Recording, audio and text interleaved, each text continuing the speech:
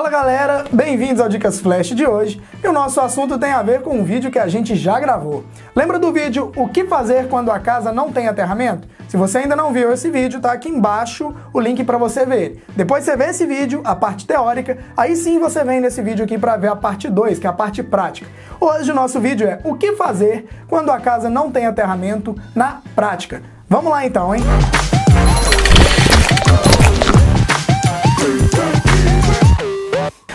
essa sugestão veio do nosso aluno aí, o Maicon, que tá escrito Maicon 10 no canal dele, então uma fotinha do Maicon aqui.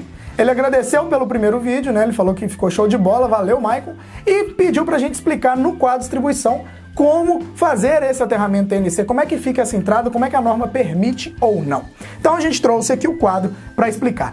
Duas coisinhas que eu preciso de falar antes aqui, ó. Primeiro que a norma permite aterramento TNC nas residências aí, né? apenas quando os cabos de entrada, os condutores de entrada, são acima de 10 milímetros, tá? Iguais ou acima de 10 milímetros. Então, se o cabo de entrada, o condutor geral aqui de entrada for de 10, você pode fazer TNC. Se não for, não pode, tá bom? De 10 para cima. Outro detalhe é o seguinte, o aterramento TNC, no qual o neutro vem conjugado com terra, vem em um cabo só, ele se restringe ao quadro distribuição. Ele não pode sair TNC daqui. Então aquela prática comum de ficar ligando o verdinho do chuveiro no neutro para parar de dar choque, isso aí não pode existir, tá? Não pode fazer aterramento TNC dentro da casa, somente até o quadro distribuição, ok? Ficou gravado isso aí? Agora vem para a prática aqui que eu vou explicar para vocês como é que é a entrada. Dá uma olhadinha na outra câmera aqui, ó.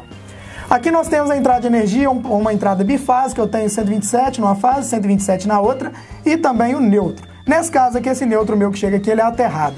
Galera, muita atenção. Os meus cabos aqui, ó, eles são de 16 milímetros, tá? Mas eles são grossos assim porque eles são Centenax, tá? Eles vêm subterrâneo, por isso que ele é mais grosso. É um cabo que eu tinha aqui e queria explicar esse detalhe para você. Cabo com isolação de 1 kV, por isso que ele é mais grosso, tá legal? Esse aqui também é 16 milímetros aqui, ó. Só que ele, como ele não tá subterrâneo, ele tá dentro do quadro, eu posso usar ele com isolação de 750, tá bom?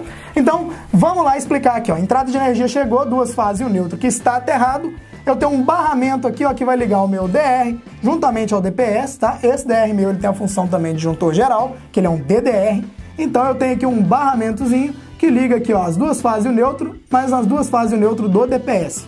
Aí o último DPS que ele é do neutro, porque esse aqui, ó, que é o barramento trifásico, é neutro. Então esse neutro é aterrado, eu vou chegar e vou ligar ele aqui, ó.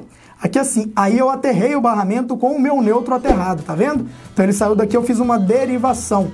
Isso aqui é um TNC até então, legal? Saiu daqui, acabou. Ótimo, DPS o mesmo esquema aqui, ó, saiu o verdinho dele, ligou no barramento de terra, né, que é a parte de baixo do DPS, e o neutro do meu DR foi ligar num barramento cá do lado de cá, aqui, ó, que é um barramento de neutro, tá bom? Então, galera, essa é a ideia principal. Mais uma vez, lembrando que esse cabo aqui também é de 16, aqui, esses aqui estão 16 também, só são mais finos porque não são centenax, tá legal? Ok, saiu daqui, eu posso fazer o TNS. Porque o meu aterramento aqui, ó, eu tenho que desmembrar ele para ir para residência, para o chuveiro, para tomada, para iluminação. Então eu preciso ter aterramento para cada um. Aí eu tenho que desmembrar nesse barramento. Agora, qual que é o pulo do gato nesse aterramento TNC aqui com DR?